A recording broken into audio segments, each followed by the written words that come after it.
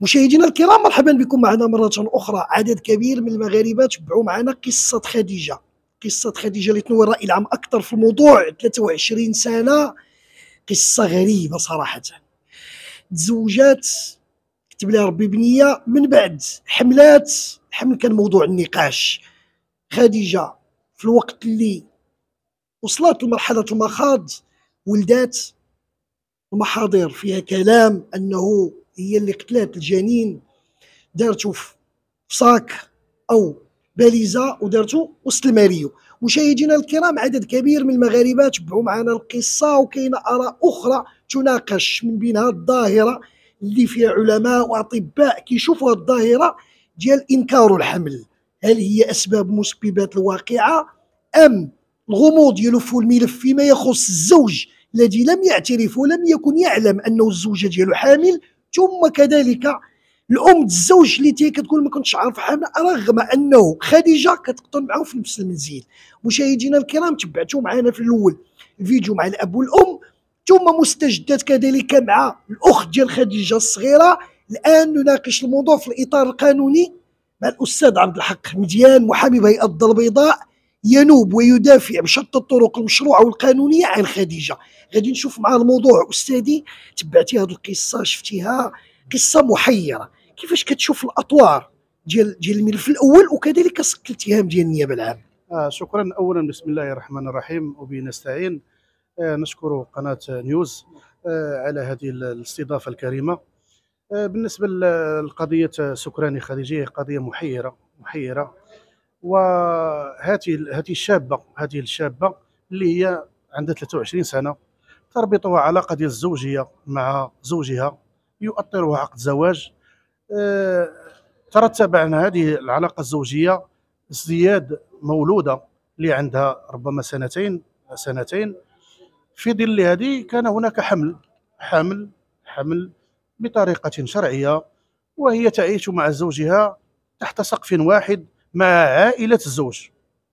والزوج في خبر في علمه على أنها بأنها حامل. حامل وكذلك في أسرة الأسرة ديالو وأسرة ديال الزوجة. خديجة السكراني آه الأبحاث التي أنجزت في هذا الموضوع مع الأسف مع مع الأسف ولكن آه تنقول دائما مع الأسف لأننا الأصل والبراءة.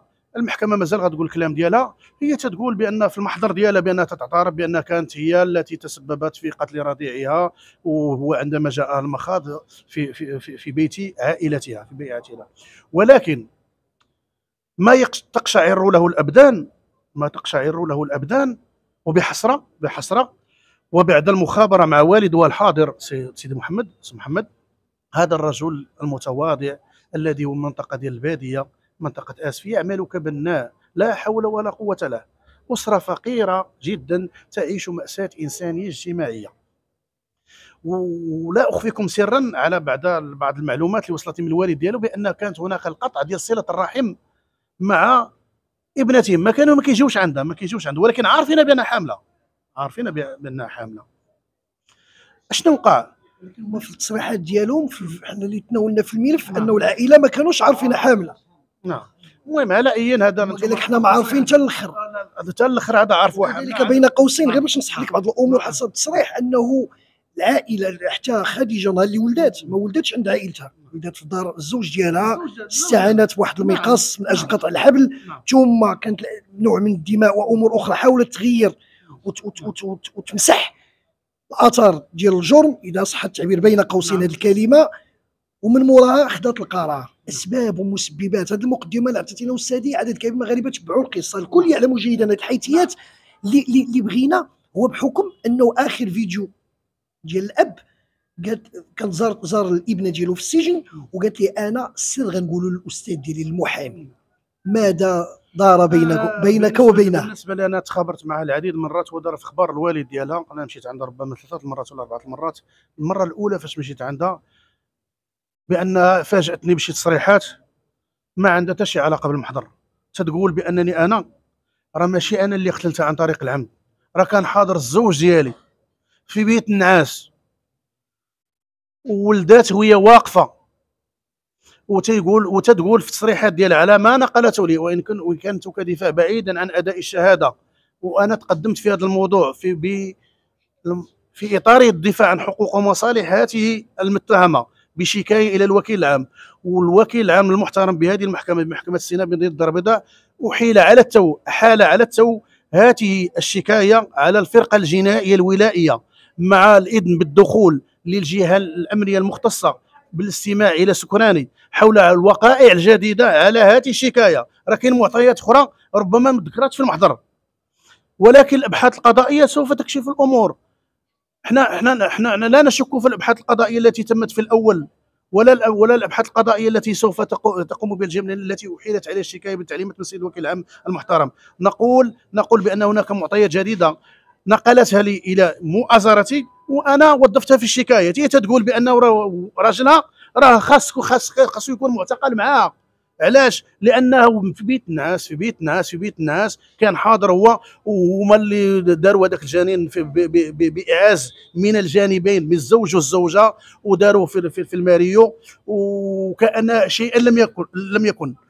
السبب علاش؟ آه السبب كيعلموه هما بجوج لأن ما يمكنش اننا نحكموا على الداخل ديال البيت الزوجية لأن ما نقدرش هما تيقولوا على حسب الأخبار اللي نقلتها لي هي الزوجة تقول لك بأنه هو ما كانش باغات تولاد شاك فيها بأن الحمل مترتب من علاقة غير شرعية وهذه أمور كلها تطرح علامه استفهام ولكن الأبحاث القضائية التي سوف تقوم بها الشرطة أو الفرقة الجنائية الولائية بمدينه الدار البيضاء سوف تبين الخيط الأبيض من الخيط الأسود.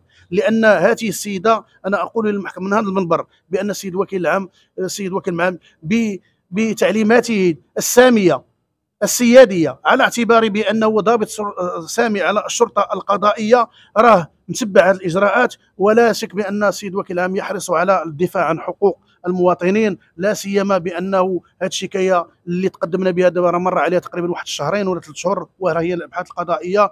كنطلبوا بأنه السيد الوكيل العام يعطي التعليمات ديالو للجهة الشأنية باش تفعل الإجراءات لأنه راه كاين شي أمور ربما غيبت غيبت فيها فيها فيها في وقائع هذه القضية. وراه شكون اللي مظلوم وشكون اللي واكل العصا؟ أنا أقول بهذه اللغة العامية ديال المغاربة راه هي ديك المتهمة المتهمة اللي هي سبحان الله باقا صغيرة 23 عام من من, من يمد لها يد المساعة إلا إلى إلى إلا الدفاع وإلا الصحافة وكذلك السيد الوكيل العام وكذلك الضابطه القضائية التي سوف تحيط التي تقوم بالأبحاث القضائية الموازية الأخرى على ضوء الشكاية التي تقدمنا بها أمام السيد الوكيل العام بهذه المحكمة.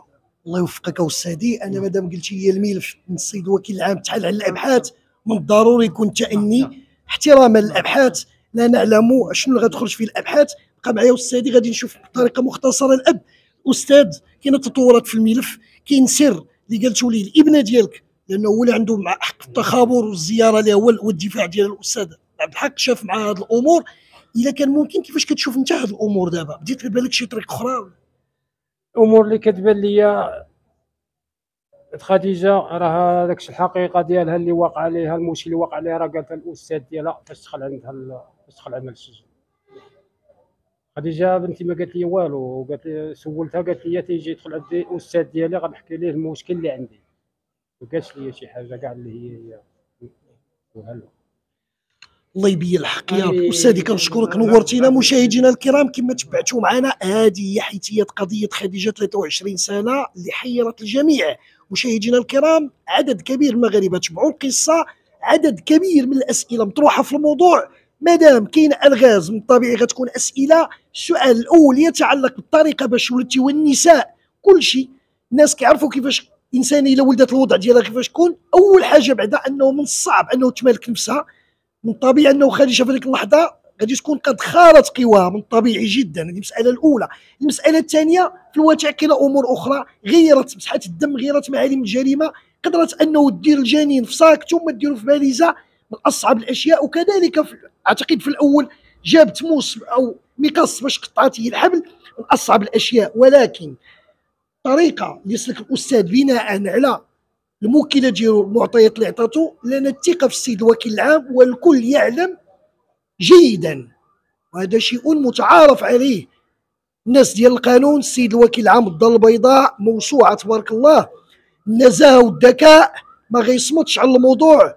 أبحاث دقيقه عطى الأوامر ديالو وننتظر. كما عودتكم دائما مثل هذه الملفات عطينا الوقائع الأولية. الملف الآن بيد القضاء ولكن ننتظر في الأيام المقبلة ما سوف تسفر عن الأبحاث لتبيان الحقيقة أكثر في الموضوع حول أسباب ومسببات واقعة خديجة من الأول. خديجة في الأول حملات ولدات بنية. الكل كان فرح وسعيد بالمولود سواء للعائله ديالها ولا الطرف الثاني عائلة الزوج. ولكن الحمل الثاني موضوع النقاش. أستاذ كنشكروه لأنه ساعدنا ونور معنا الرأي العام في القضية ويعلم جيدا أنه عدد كبير من المغاربة كيتبعوا معنا هذا الملف وكذلك الأب في وضع صعب وينتظر حقيقة قصة الابنه ديالو. مشاهدينا الكرام نحن نتتبع الملف وسوف نوافيكم دائما بالجديد حيثيه قضية خديجة 23 سنة. صاك. وسط الماليوم من أصعب الأشياء. مشاهدينا الكرام تعليق المواطن شكرا لكم.